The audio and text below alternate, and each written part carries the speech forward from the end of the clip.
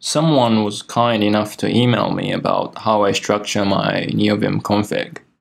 So I have been working on a course for some time and now it's up on Gumroad if anyone else is interested. So basically I go over different files and folders you can have in your config directory. And each file will be triggered differently by Vim. So I just explain and try to demonstrate one by one how it's been triggered and when it's been triggered. I also included some utility functions to print runtime path and sourced files, just making it easier to see the changes.